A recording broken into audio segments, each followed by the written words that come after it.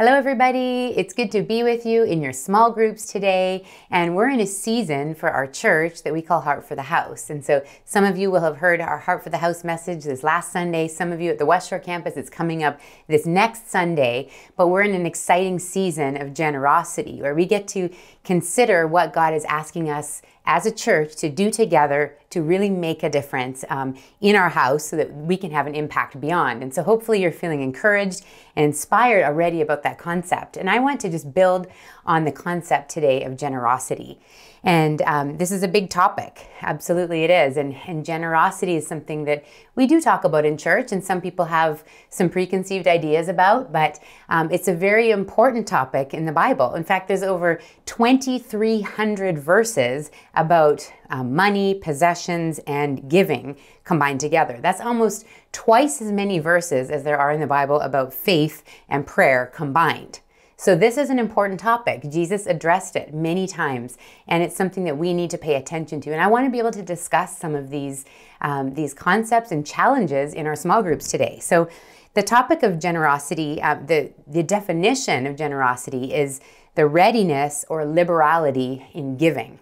And so it is about finances. And a lot of times we could say, you know, well, generosity can apply to a lot of areas of our lives. And as Christians, it certainly should we should be people that are generous um, with our time and with our energy, but generosity needs to flow into our resources. And there's a very important reason for that. And that's because money has the potential to have great power over us and to hold great control over us. And generosity is the best way to be free of the power that money would have over us. And that's a natural thing that happens in our world. And, and so God's given us this secret weapon to unlock the power that money has over us. And that weapon is generosity. Generosity fuels freedom, actually. We talk a lot about freedom and finding freedom in small groups. And I believe that it's actually in this context of a small group that you can have honest conversations about what God's speaking to you, about your concept of generosity, maybe what struggles you have, what challenges you have with that, and and that can help us let go of the power that money has over us. So um, we often we often think of the power that money has in terms of people having too much money and not doing good with it. And it's easy for us to not put ourselves in that situation and think, well, I certainly don't have too much money. In fact, sometimes it feels like I barely have enough, right? Especially in Victoria. It's difficult, it's expensive. Going to the grocery store is very expensive. And so we understand that. But I think it's important for us to shift our mindset and understand that um, money can also have power over us when we're obsessing about it, when we're actually obsessively um, checking our budget and, and thinking that we don't have enough. Don't get me wrong, budgets are good we we love Dave Ramsey. We love the concepts of you know getting out of debt and living free. But the point of of everything that he does actually is so you can live a generous life, so that you can be free to be generous and fund the kingdom, and live in a way that nobody else does. And so we we recommend that you have a budget. But what I would say is just leave room for generosity. When Dave Ramsey says every dollar has an assignment, um, I still think we can assign room for generosity. We can be prepared to be generous. We can plan for it, and it can also be spontaneous. It can be spirit led as God leads us if we have margin already planned into our budgets. And so there's many verses about generosity and about money. We're going to just touch on a few today. Matthew 6 21 says, Where your treasure is, there your heart will be also. Notice the importance of that your heart isn't there first and then your treasure follows. Um, your heart goes where your treasure already is. Treasure is anything that, that we value above all else and the thing that motivates us to action. That's what our treasure is. So it can be money, it can be power, it can be fame, um, it can be many different things that we value above all else. As Christians, we're called to value the kingdom of God above all else. And when we live that way, then our heart will follow our treasure to that place. And so you, I think the order there is very important. People whose treasure is in heaven can't be owned by their possessions. They value the currency of heaven, which is generosity, and they use their earthly treasure, the, the money that they have on earth, to purchase heavenly treasure, heavenly gold, which can never lose its value. It's a beautiful concept, and it's a reality in the kingdom of God.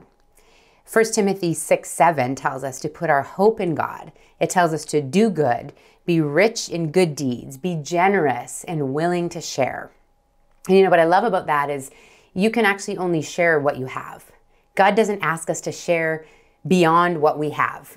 He knows that we need to have our needs taken care of. And He's not asking us to give what we don't have. He's just saying, be generous and be willing to share what you have. Notice willingness is the key, and that's a heart posture. There are so many promises in the Bible for a generous person. I'm just going to list a few for you, not without without verse references, but you can certainly look up the 2300 verses if you want to. If you're going to have a really long small group, you can look them up. But here's what the Bible says um, promises for generous people it says they will prosper, they will be blessed, they will lack for nothing. Their children will be a blessing. Wow, okay, so it's extending into the next generation now.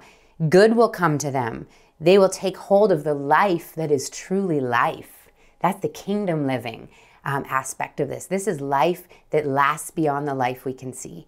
They will lay up treasures in heaven. I know that's that can be sort of a trite concept. In fact, our kids and I we kind of use that as a joke like oh you got some treasures in heaven for taking out the garbage you got jewels in your crown you know and and we can joke about it but let's remember this is a real concept there are eternal treasures that are literally going to last forever and isn't that something we want to be sowing into not something that's going to last for 80 or 90 years god willing but for all of eternity so you're going to lay up treasures in heaven when you're generous.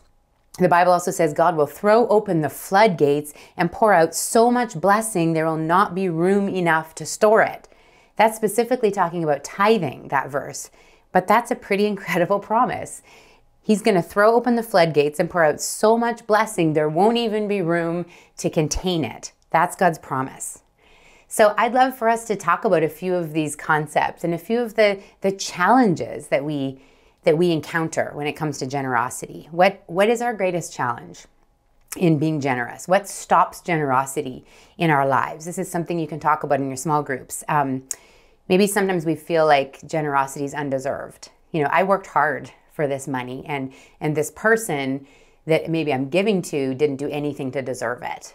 Um, we can kind of have a master and a slave mentality. We can also have a scarcity mentality where, like I said before, it's like I can barely make ends meet. I can barely pay my bills myself. I don't have enough to give away. But let's remember that we operate and live in this upside down kingdom where the first will be last. And God promises, I mean, I just gave you a few of the promises, but you're going to prosper. You're going to be a blessing. You're going to lack nothing. You're going to have everything you need when you live generously. So, this is a shift in our mindset for sure. I'd love for you to talk in your small groups about where you've seen generosity at work in your own life. Maybe you've been on the receiving end of generosity. Let's share those stories. Let's encourage each other. Uh, Proverbs 11:25 says, "A generous person will prosper. Whoever refreshes others will be refreshed." Some versions say, um, if you water others, you will be watered. I love that picture. You're you're watering something so that it can grow, but you're also going to be watered. In the Living Bible, that same verse says this. It's possible to give away and become richer. It's also possible to hold on too tightly and lose everything. Yes, the liberal man shall be rich. We're not talking about politics here. We're talking about generosity. And by watering others, he waters himself. So there's always a blessing for us. God is an extravagant God. He sees our hearts. It's not about amounts. Let's just be clear. It's never about amounts. It's about the willingness. It's about the heart. You know, the story of the widow's mite in, in Luke, where the widow comes and gives two tiny little copper coins. And Jesus actually says, This poor widow has put in more than all the others. And so it's about a heart posture. God sees our hearts, and He's an extravagant God. So let's discuss the heart issues behind generosity. And, and I'd love for us to share today about what God is speaking to us about this topic. Thanks for your attention. I'd love to pray for you as you go into your discussion time. Thank you, Lord, for your great generosity towards us. Thank you that we could never repay you what we owe you, but we are grateful that we can partner with you in this beautiful kingdom of God coming to earth as it is in heaven. And we just ask, Lord, that you would unlock generosity in our lives so that money has no control over us and we are not governed by the powers of this world, but by the powers of the kingdom of heaven. And so, Lord, we pray that you would open our eyes, you would open our hearts, you would make us willing, and you would help us to encourage each other in the things that God has asked us to do so that we can be a blessing and we in turn can be blessed. Thank you, Lord, for your, um, your blessing on every person. Thank you for your provision. We pray right now for the one who, who needs a special provision, even this week. Lord, would you meet their needs in a supernatural and abundant way because you're an abundant and extravagant God. We trust you with everything that we have. We love you, Jesus. In your name we pray. Amen.